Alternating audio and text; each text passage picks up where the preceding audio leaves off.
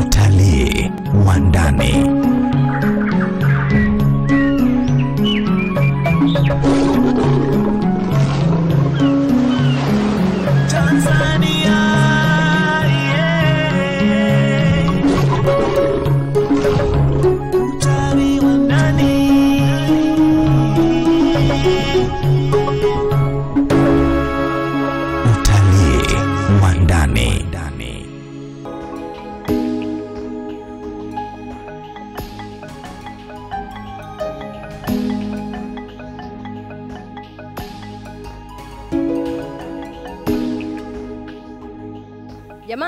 Tumefika eneo hili la Pugu na tunachokiona hapa ama ile eneo ni viewpoint ya Pugu na unaona mandhari. Kiukweli mandhari ni nzuri, mandhari inavutia, ni green green green green totally.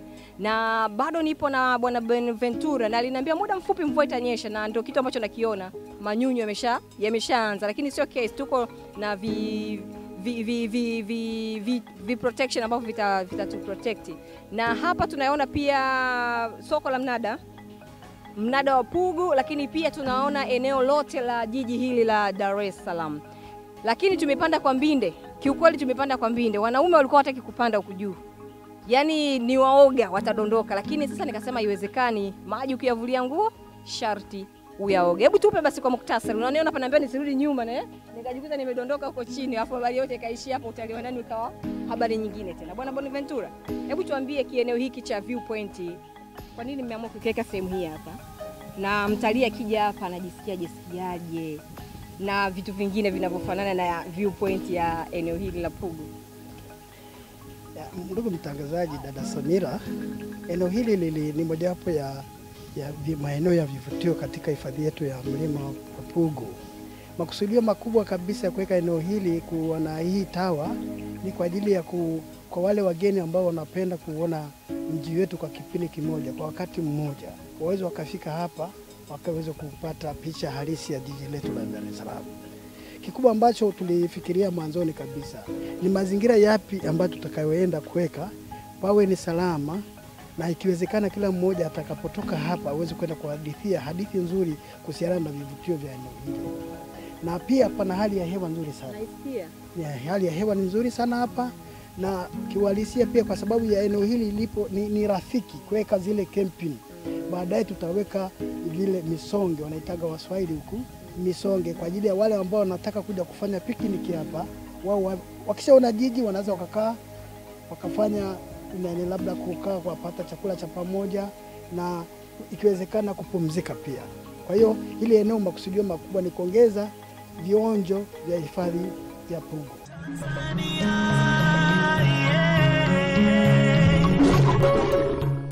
bado nikiwa eneo hili la Pugu na lengo la kuja hapa kuangalia aina za misitu mbalimbali, lakini pia kuna campsite ya Kanyanyiko, Kanyanyiko, Kinyanyiko kama ambavyo umetoka ku, kuona katika picha zilizopita, lakini niko na dada kutoka TFS, wakala wa huduma za misitu, ameniambia no, kabla hatujaelekea kwenye pango la Mapopo kuna neno linaitwa Minaki ni wewe ushalikusikia. Kuna shule pia inaitwa Minaki, lakini je, unajua Minaki linatokana na nini?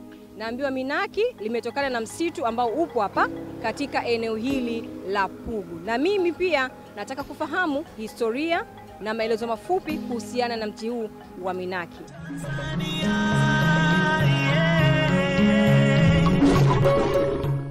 Kwa majina anaitwa Regina Felix Mwakifuna, ni msimamizi wa msitu wa hifadhi wa Pugu na vilevile ni nasimamia shughuli zote za, za kitalii zinazoendelea katika hifadhi ya Pugu, na hapa ni sehemu mojawapo ambayo ni aina ya miti mbalimbali ambayo inapatikana msitu wa Pugu na haipatikani sehemu nyingine yoyote. Hiyo aina ya miti ni miti kumi na nne ambayo inapatikana Pugu tu, na baadhi ya miti inapatikana Pugu, miwili ipo ambayo ina, inafahamika mpaka sasa, lakini hiyo mingine miti kumi na mbili bado hatujajua vizuri kwamba bado ipo, kwa sababu huko nyuma kulikuwa na uvamizi, watu wanavamia, kuna moto, kuna wakataji wa choma mikaa ko bado ambapo kuna watafiti ambao wanakuja ili kuangalia bado hizo spishi zipo au hazipo, lakini hizo spishi mbili tuna uhakika zipo ambao ni mnaki na pugupugu. Pugupugu ndo ambao umeshika jina la Pugu, sekondari ya Pugu, na mnaki ni huu ambao umeshika shule ya sekondari ya Mnaki. Huu mti ni dawa, unasemekana ni dawa kwa watu wanaoishi huku pwani Kisarawe, wanaotumia kama dawa, lakini bado tunajipanga kukutana na wazee ambao wanaweza kutuelezea vizuri ni dawa ya nini na tibu nini na ni kwa nini wanaitumia. Ila moja na hiyo, kuna wataalamu kutoka chuo kikuu cha Dar es Salaam wamekuja kuchukua magamba, mizizi na mimea ambao wanaenda kuangalia Ibaliam kwamba ni mti ambao labda unashughulika na ugonjwa wa kisukari. Kwa bado hatujapata majibu ambao mpaka sasa tunasubiria, tunaweza tukawataarifu wenzetu wa Tanzania, wenzetu wajue kwamba ndani ya msitu wa hifadhi wa Pugu kuna mti ambao unatibu ugonjwa wa kisukari. Asante. Haya ni maelezo kuhusiana na mti wa mnaki ama minaki, na mti wenyewe ni hule. Nataka nipige hatua, na nimeambiwa umechimbwa, na umechimbwa kwa sababu maganda yamechukuliwa kwa ajili ya kwenda kufanyia utafiti, na mara baada ya utafiti kukamilika, tutakuja kujua sasa, je, mnaki huu ni magonjwa gani ambayo utakwenda kuyatibu. Basi mimi ndo kama hivi naenda kuangalia oh. tusiwe na haraka ili kufahamu sasa mti huu na mna, wa mnaki utakuja kutoa matokeo yatakuja utakuja kutibu magonjwa yapi, lakini wao kwa kuanza kwa kufikiri fikiri tu wanahisi ugonjwa wa kisukari ni mmoja ya tiba itakayo inapatikana kupitia mti huu wa mnaki, lakini pia ni jina ambalo lipo. Kuna shule inaitwa Minaki. Yes, kwa hiyo shule ya Minaki limetokana na mti huu ambao upo hapa Pugu katika pori hili la Pugu. Basi mimi nashuka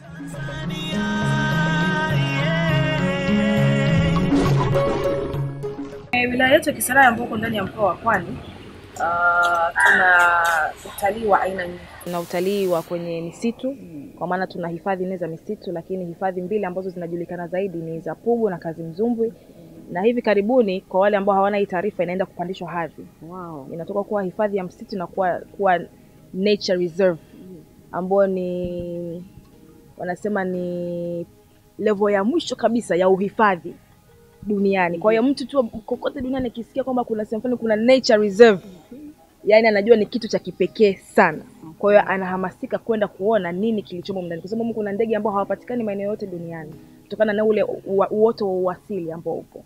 Kwa hiyo sisi tuna, tunaona kuna utalii huo, lakini pia kuna utalii wa kiutamaduni kwa maana tamaduni zetu za Kizaramo, ngoma zetu, vyakula vyetu, jinsi watu wanavyoishi. Uh, huko nyuma kuwa kuna ishu za vi, vi, vi, vi, unyago na kadhalika ambavyo uh, ni tamaduni ambazo zilikuwepo ambazo watu wengi wanapenda kuona zilikuwa zinafanywaje, lakini pia ukiangalia sisi tunaona kuna fursa pia ya uchongaji. Misitu inaleta fursa ya kuchonga vinyago, na huku kuna eneo letu la Boga ambalo kuna wachongaji wazuri sana wa vinyago mbalimbali, ambapo sisi kwetu pia ni fursa ya kuonesha utamaduni na uwezo wa wasanii wetu katika kubuni masuala kama hayo. Kwa hiyo kwenye kwenye kitu ambacho sisi tumejadiliana, kwa sababu kwa eneo kubwa la Kisarawe ni kuna misitu zaidi, tumeona kwamba ni jinsi gani tunaweza tukaibua hii fursa ya kuwa na misitu, hifadhi za misitu, na ikawa ni kivutio cha kipekee kwa watu kufika na kurelax na kujionea uh, utajiri wa maliasili ambao uko katika nchi yetu ya Tanzania kupitia wilaya yetu ya Kisarawe. Kitu ambacho tumekifanya, tumekaa na wenzetu TFS, tumekuwa na vikao vingi vya kutosha. Um, tumekubaliana kwamba tutatengeneza brochures za kutangaza, lakini pia sasa hivi tuko kwenye mchakato wa kutengeneza business plan, mkakati wa kibiashara, mwongozo wa kibiashara wa jinsi gani ambapo sasa tunataka kubadilisha hii hifadhi ikawa na miundombinu. Kama mtu anataka kufanya hiking, anataka kufanya trekking, anataka kupumzika ndani ya hifadhi, anataka kuja na familia yake kula ku, kuenjoy. Kuna mabwawa sasa hivi, kwa mara ya kwanza tumeweza kutunza bwawa letu, mwaka mzima bwawa halijakauka. Sasa kuweka miundombinu, hata mtu anaweza kaendesha kiboti chake hivi wakapata aka- waka- faraja fulani hivi na waka- wakaenjoy mazingira ya Kitanzania. Lakini pia tumekubaliana ku, kwa sababu tulikuwa na wenzetu kama kama kwa taarifa nyingine tu, barabara ya kutoka Dar es Salaam City Center mpaka kufika kwenye hifadhi ya sasa hivi ambayo imetangazwa ni hifadhi ya taifa ya Mwalimu Nyerere, yeah. ambako pia kuna mradi wa bwawa la Nyerere yeah. ni takriban kilomita mia themanini na tano. Yes, kwa maana Dar es Salaam mpaka hapa ni kilomita themanini, lakini hapa mpaka kule takriban kilomita mia hamsini mpaka mia hamsini na tano.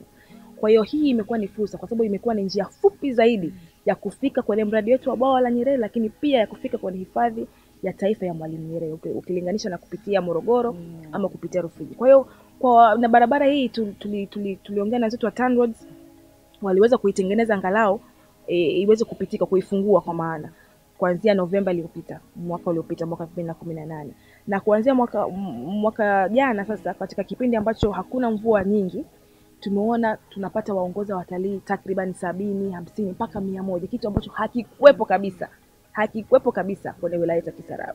Kwa sisi pia tukaona hiyo ni fursa, na fursa hiyo tunaigeuzaje iwe fursa? Tukakaa na wenzetu waongoza utalii wa, wa Southern Circuit huku utalii kusini, tukaambia kwamba tutatengeneza centers, kwa maana hata mamalishe wetu yale vyakula vya, vya kiasili waweze kuwauzia hao watalii.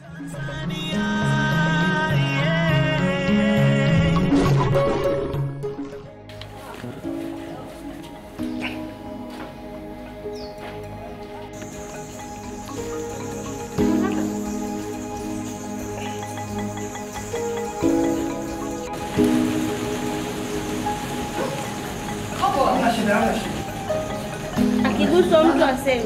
Kibusho anakuwaje? Wakija wanaenda mpaka kule. Sera. Kama unajiziba tena unajua hiyo ni nani? Dawa.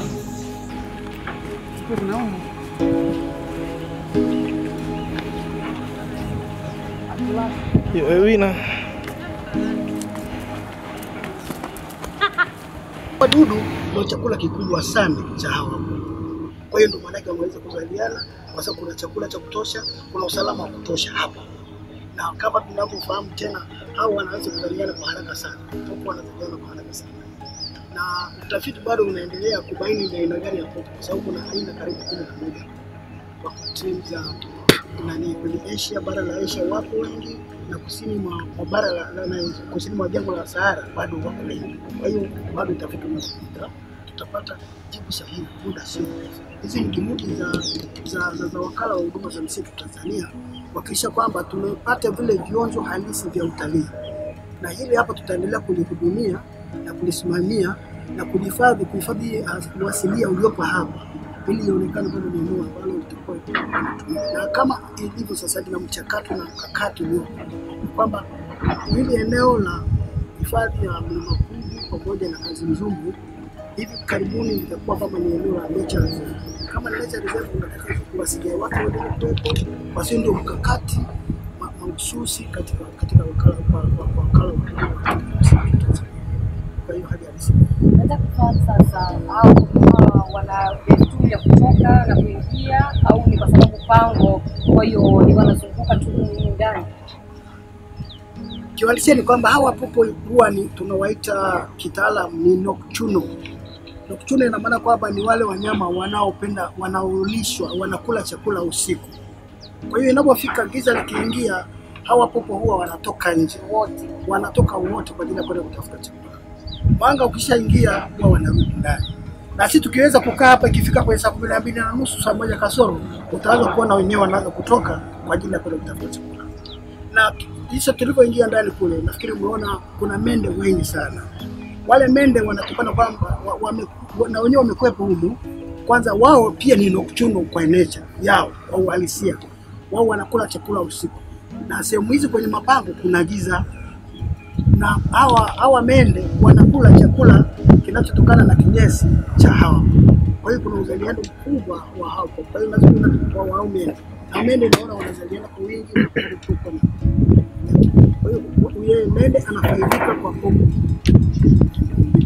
Ndio kuna utaratibu ambao mnafikiri mnaweza kuweka mende na yenyewe akawa ni sehemu ya utalii pamoja na popo kuendelea kuzaliana. Yaani nafikiri kwa maelezo yangu awali ni kwamba nilisema bado kuna juhudi zinafanyika kufanya utafiti zaidi ili tuweze kuendelea. Kama mnavyofahamu na vyombo vya habari huwa mara nyingi mnaandika, kuna watu wanafuga popo na wengine wamefikia mahali wakaingia ndani zaidi wakajua kwamba popo nani, sorry, hawa hawa mende wa ni Kwa hiyo kwamba tunafikiri kwamba baadaye huenda tutapata majibu yaliyo sahihi, kwa sababu ni utafiti. Hatuna haki ya kusema lolote, kwa sababu hatuna data zilizojikamilisha kuhusiana na jinsi kuwa kama kwenye mfumo wetu au tumfanye mojawapo ya kivutio cha utalii. Je, kuna elimu yoyote ambayo mnaitoa kwa watalii ambao wanakuja hapa kutembelea pango hili la? Kwa sababu kama una ujasiri huwezi kuingia ya, kabla ya yote wote ambao wanakuja hapa huwa tunawapa taarifa za za awali.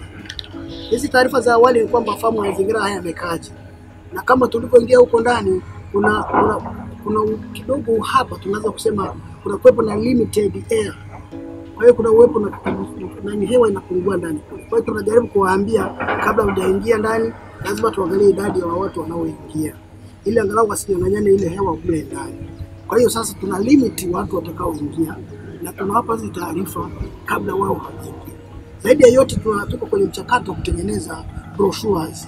Hizi brochures zitakuwa zinaeleza uhalisia wa hifadhi yetu ya kuku pamoja na zile tahadhari, labda nyingine tunaonyesha kwamba tu- hatuhitaji uchafu huu, kwa mfano kutupa chupa zile za maji, labda kuwasha moto na vitu vya namna. Tunataka tutengeneze hizo brochure, na hizo brochure nyingine tunazitumia kwa ajili ya wale wageni, wale wageni ambao wakija hapa wanazisoma, wanaingia humu ndani wakiwa na tahadhari, hawataki kuacha uchafu wote humu ndani.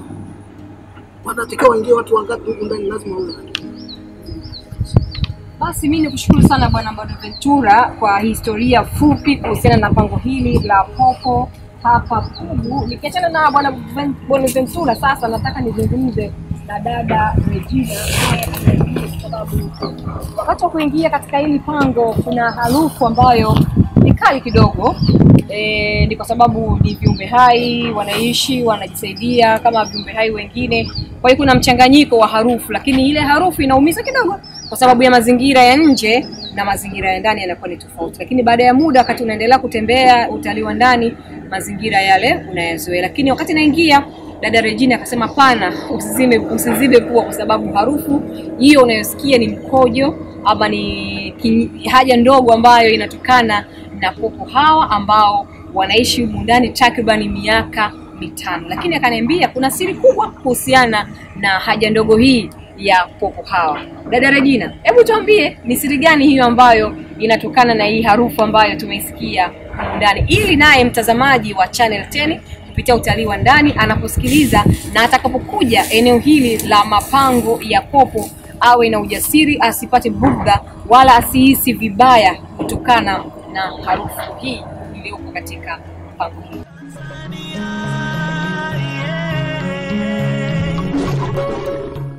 swala hili la sasa kuhusiana na harufu uh, ama haja ndogo ya popo, lakini mara unapokuwa unaingia mule ndani unaweza ukapata uoga na ukatoka bila kuwashuhudia. Nashukuru ndugu mtangazaji, na hapa nilipo kweli ni kivutio kingine ambacho kipo ndani ya msitu wa hifadhi wa Pugu ambao ni pango la popo. Ni kweli unapoingia ndani ya hili pango unakutana na harufu kali sana. Wengine wanaziba midomo na wengine wanaweza kuziba pua, lakini vile vile wengi waki, wakija huku ndani ya hifadhi unaambiwa kabisa kwamba mkojo wa popo ni dawa, na hivyo wengi wenyeji wa huku na wageni, kwa sababu nina ushahidi kipindi kama mwaka elfu mbili na kumi na saba kuna watu walikuja kwa ajili ya kuchukua kinyesi cha popo wanachukua kinyesi cha popo na wengi wao wakasema tunataka kulipia, na hawa wao wengine ni watu wa nje. Wanalipia hicho kinyesi kama unavyolipia kuingia ndani ya hifadhi, na wakatamka kabisa kwamba hii ni dawa. Wengine wakatania ni dawa ya tumbo, kwa unapovuta ile harufu, hata kama uko na tatizo la tumbo mwingine ingawa mimi kama mimi bado sijaingia kufanya utafiti kuhusiana na hilo jambo, na vilevile vile tumeweza kuona mende mende wao wanaishi huku, na kama unavyojua mende hata sehemu za uchafu wanaishi, lakini wao wanategemea sana kinyesi cha popo. Kwa hiyo popo kinyesi chao mkojo, iwe ni kinyesi chao cha haja kubwa ni dawa, haja ndogo ni dawa. Karibuni sana msitu wa hifadhi wa Pugu, mje mjionee maajabu ya popo. Kama unavyojua popo, popo haeleweki ni mnyama au ni ndege, na ukiingia ndani ya pango popo wapo takribani zaidi ya milioni moja. Na ukiingia ndani ya popo kama nilivyowauliza watu wengi wakati tunaingia kwamba atakayeguswa na popo aniambie, lakini nimesikia kuna kaka akasema yeye ameguswa na popo, na sijui kaguswa na popo katika mazingira gani, kwa sababu popo ana tabia ya kuhisi. Na kama kwa nini hawezi kukugusa? Popo? Kama unavyosema ni kama binadamu, ana ngozi laini hata akitanua yale mabawa yake, unaona kabisa kama mwili wa binadamu unaigusa hii ngozi. Kwa hiyo naamini kabisa atakapogusa kitu anaona ni kitu kigumu, kama yeye mwenyewe anaweza akaumia akapata majeraha, na ndio maana hawezi kugusa. Kwa hiyo yawezekana katika production kuna eneo tumefika tunakuta ambapo wengi sana wamezubaa kwa ajabu katika, kwa sababu tulikuwa na kitu tochi tunamulika ili tuweze kuchukua vizuri picha. Kwa popo tabia yao hawawezi wakaishi sehemu ya mwanga, na ndio maana mpaka leo kuna watu wanazeka miaka na miaka hawajai kumuona popo, hata katika mazingira ya nyumbani. Sijui kama kuna mtu amewahi kumuona popo, lakini ndani ya msitu wa hifadhi wa Pugu anamuona popo na anamuona katika mazingira gani? Kutokana na, mazingira anayoishi, mashimo ya popo ni sehemu ya giza, na ndio maana ili uweze kumuona popo lazima uingie na tochi. Kona yeye anajihami, anavyoona tochi, ule mwanga unaingia, anajua kabisa hapa nitajeruhiwa kwa anajihami kwa kukimbia. Katika zile pukshani za kukutana kaweza kamgusa, lakini sidhani kama amekugusa umeumia. Kama mdudu mwingine angeweza kudondokea kwa sababu anajiokea. Hata yeye anajihami kutokana na jinsi alivyo na umbile lake. Na unatoa rai kwa wananchi ambao wanahitaji kuja katika pango hili la popo, eneo hili la msitu wa Pugu, watarajii nini? Wanapo kitu wanachotarajia wakiingia hapa, kwanza kabisa napenda kuwakaribisha wanafunzi, walimu na uongozi wote ambao wapo hususani wapo kwenye taasisi za elimu, waje wawalete wanafunzi, kwa sababu hata mimi nilisoma popo kasema popo popo ni mnyama, popo popo ni ndege, lakini ananyonyesha, ana maziwa, ana nini, lakini sijamjua. Lakini uta, watoto wengi wanamaliza hawajamjui popo, lakini wamemsoma. Kwa hiyo napenda kuambia Watanzania wenzangu, karibuni, tengenezeni vipindi vya kuona wanyama, kwa sababu huku tuna ndege, tuna wanyama mbalimbali. Hebu waleteni hao wanafunzi waje kuangalia kila aina ya ndege. Tunasoma ndege, tuna tunachanganyua aina za ndege. Huyu ndege yupo hivi, yupo hivi, lakini hujamuona, unamuona kwenye kitabu. Basi nakukaribisha ndege kwenye utalii wa ndani utamuona, na vile vile popo utamuona, ili unamuelezea kabisa kwa nini unasema popo ni mnyama na kwa nini unasema ni ndege. Tulio wengi tunasema ni ndege anaruka ni mnyama lakini eti ananyonyesha, umemuona? Hujamuona. Lakini ukija hapa ukiweza kumtaiti popo alivyo, sehemu alivyo, kamchukua picha, unapata kabisa ile kumwelezea mwanafunzi kwamba umemwona, hata ngozi yake umemwona, kwa tayari mwanafunzi anaweza akaelewa. Haya, mtazamaji wa Channel 10, utalii wa ndani, hiyo ndiyo habari kubwa kabisa kuhusiana na pango hili la mapopo katika mkoa huu wa Pwani, wilaya hii ya Kisarawe. Hili ni eneo la msitu hapa, eneo la Pugu. Umeelewa? na Natumaini pia utakuwa umejifunza mengi kuhusiana na utalii wa ndani, lakini kubwa zaidi kuhusiana na pango hili lenye popo wa kutosha zaidi ya milioni ngapi? Moja. milioni moja. Ukija hapa utajishuhudia kwa macho, utajifunza, utaelimika na utapata kumuona, hata kumkamata kama utahitaji. Kama sio muoga, utaweza pia kumkamata, lakini kama ulivyoambiwa, popo akiona mwanga ni anakuwa anakimbia, yani anaruka. Kwa hiyo utaishia kumuona. Kama kumkamata, labda awe amekufa au ka, Hata ukazima tochi unaweza E, ama kama una ujasiri, kama utakuwa umezima tochi, unaweza ukamkamata. Hii ndiyo utalii wa ndani na hii ni Channel 10. inaitwa Samira Kiango. Mengi sana umeweza kuyashuhudia kwenye safari hii ya mkoa wa Pwani, tukiwa tunaangalia vivutio ambavyo vipo katika mkoa huu wa Pwani. Sina la ziada, lakini siwe mchoyo wa fadhila. Namshukuru sana kameramani wangu e, Boy Sela ama Sela Boy ama Ali Salum kwa kufanikisha matukio yote katika ziara hii ya utalii wa ndani katika mkoa huu wa Pwani, lakini mama Margaret Malisa kwa kufanya utaratibu wa mimi kuweza kufika hapa na timu yangu nzima kuja kukuletea moja kwa moja vivutio ambavyo vipo katika mkoa huu wa Pwani. Lakini nimshukuru zaidi kwa mapokezi mazito mkuu wa wilaya ya Kisarawe Bi Jokate Mwegelo ambaye ametupokea vizuri na ametupa e, baraka zote kwa kuweza kupata vile vitu vyote ambavyo tunavihitaji katika kipindi hiki cha utalii wa ndani. Msimamizi wa vipindi e, Elias Shamte tunakushukuru sana, lakini bila kumsahau Ezekiel Mwambopo katika uandishi wa skripti. Mimi ni Samira Kiango. Nataka kujua wiki ijayo utalii wa ndani itakuwa eneo lipi katika kuangazia ama kuangalia vivutio vya ndani ya Tanzania. Hii ni katika kuisapoti serikali ya awamu ya tano chini ya Rais wa Jamhuri ya Muungano wa Tanzania Dr. John Pombe Magufuli. Tumeona serikali hii kupitia Wizara ya Maliasili na Utalii ni jinsi ambavyo imeweza kujidhatiti na kuwekeza kwa asilimia kubwa ili kufanikisha utalii wa ndani kuenea asilimia, kue- kuenea na kufanya wageni kutoka nje na Watanzania pia kuweza kutembelea vivutio vyao. Mpaka wakati mwingine, mimi ni Samira Kiango, tunaondoka namna hii na dada Regina ili tuendelee na majukumu mengine. Tanzania, yeah.